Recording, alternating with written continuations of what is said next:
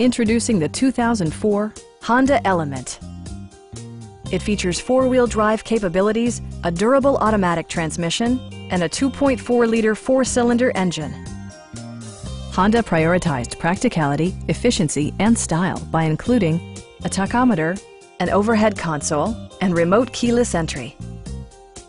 Honda also prioritized safety and security with features such as dual front impact airbags, front side impact airbags, ignition disabling, and four-wheel disc brakes with ABS.